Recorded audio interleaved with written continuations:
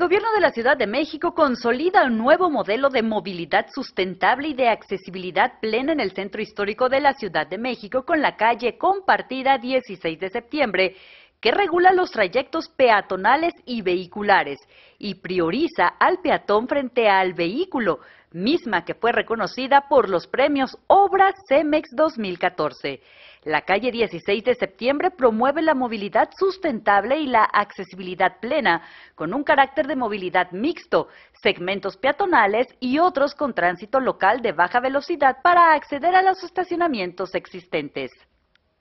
La rehabilitación del espacio público genera beneficios adicionales como recorridos más agradables, accesibilidad universal para adultos mayores y para personas con discapacidad, iluminación uniforme que ofrece más seguridad y la captación de agua pluvial sin encharcamientos. Los premios Obras CEMEX distinguen a lo mejor de la construcción de México y el mundo y fomenta la cultura de innovación en este sector.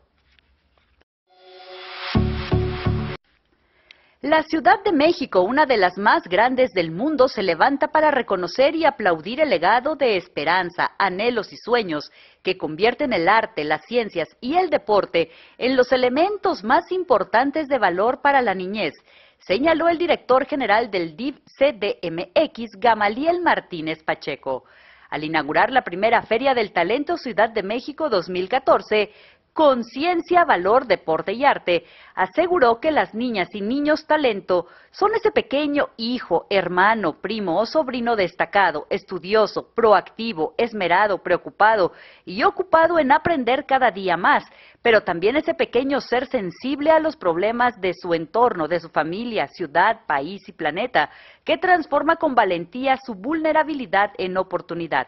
ante más de 20.000 niños y niñas reunidos en la explanada del Monumento a la Revolución, informó que en los tres años de esta administración, el programa Niños Talentos se ha potencializado con la experiencia y dedicación de más de 320 profesores comprometidos con su desarrollo integral, convirtiéndose en un programa permanente, completando con actividades extramuros para darles diversidad.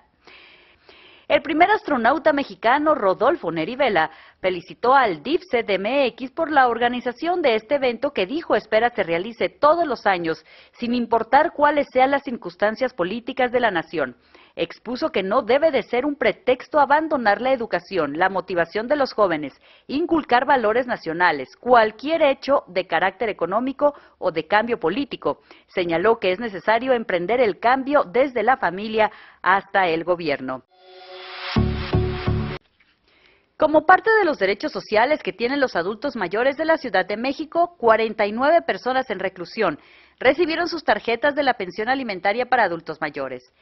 La Secretaría de Desarrollo Social de la Ciudad de México, a través del Instituto para la Atención de los Adultos Mayores, hizo entrega de 12 tarjetas a nuevos derechohabientes del reclusorio Oriente y renovó los plásticos de 37 más.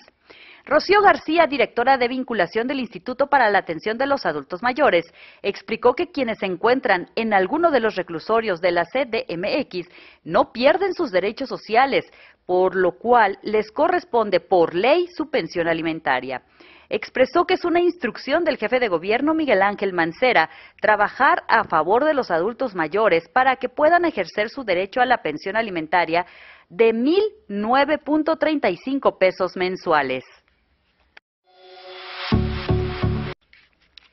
En otro acto se realizó el evento Alianza Pyme en la delegación Coajimalpa, donde se formalizó el convenio con las empresas más importantes de la demarcación para que en conjunto con la delegación se otorguen beneficios a sus habitantes. La secretaria del Trabajo y Fomento al Empleo, Patricia Mercado Castro, resaltó que con esta alianza se espera generar empleo digno y decente para la población trabajadora de Coajimalpa. Además, subrayó que una de las acciones para lograr beneficios para las y los trabajadores es proveerles de salario remunerador con prestaciones de ley. Mercado Castro clausuró el programa Empleo Temporal 2014, el cual tuvo una inversión de un millón y medio de pesos y benefició alrededor de 500 habitantes de las colonias San Mateo, San Lorenzo, Acopilco, Chimalpa y Navidad.